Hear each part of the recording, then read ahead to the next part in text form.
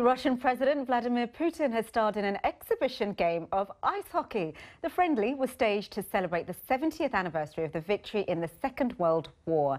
Now, Mr. Putin has very carefully cultivated his image as an athletic man of action, as Tom Spender reports. Striding out to rapturous applause.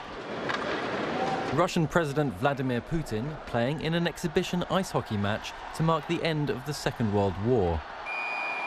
Perhaps inevitably, he turned in a man of the match performance, scoring again and again and again.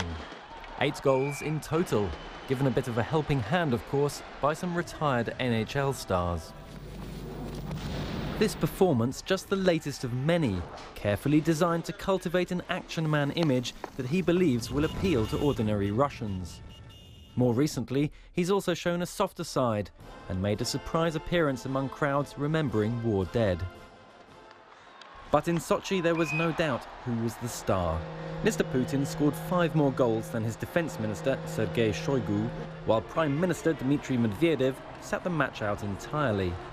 A friendly it might have been, but still a competitive spirit. No suggestion the president was involved in this bit of grappling.